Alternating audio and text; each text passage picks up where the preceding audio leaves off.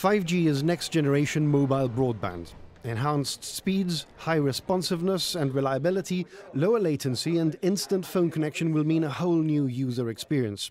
Straight off the bat, our consumers or our customers will be able to enjoy three new things.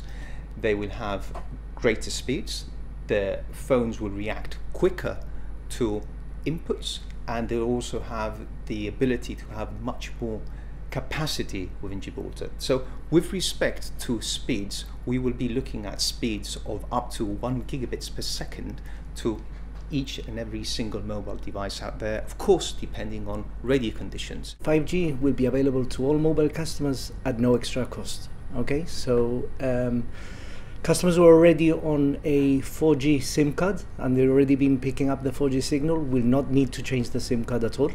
Uh, it will automatically work with 5G. Um, there are still some customers who are currently on the 3G SIM card. We encourage all of those customers to come along, uh, get in contact with us, and we will uh, organize a SIM swap free of charge. This speed test shows what consumers can expect. More than 10 times the download and upload speeds with no interruption from phone calls.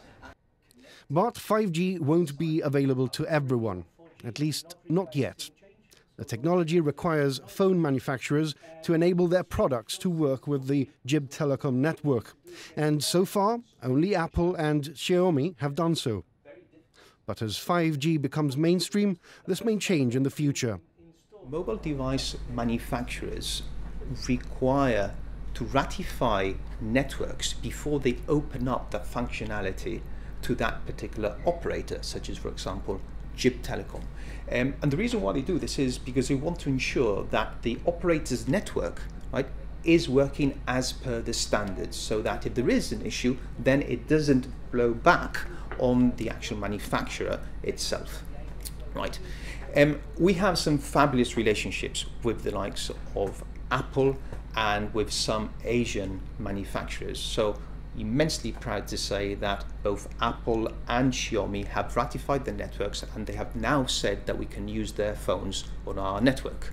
Unfortunately, I cannot say the same about certain other manufacturers. Together with the launch of the service, a new set of bundles have been activated, doubling the data allowance for the same price. These will apply automatically. All customers that are currently on our latest sets of uh, pay monthly plans that were only launched less than 12 months ago will be receiving up to double the data as from tomorrow, free of charge. Uh, they don't need to do anything. Uh, they will be sent an SMS to let them know when, once it's done, and they will be receiving that extra allowance on a monthly basis from now on. The introduction of the new technology hasn't come without its hiccups. Brexit and COVID have delayed the launch by over a year. But with 95% coverage around Gibraltar and using only existing 4G masts, in fact, only one extra mast has been erected. The service is now here.